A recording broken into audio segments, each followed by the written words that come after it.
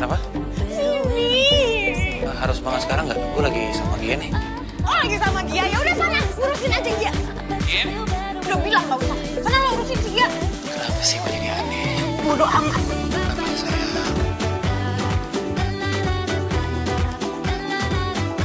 Jangan sayang-sayang gue kayak gitu. Biasa lo sama cewek-cewek lo tuh jarang bawa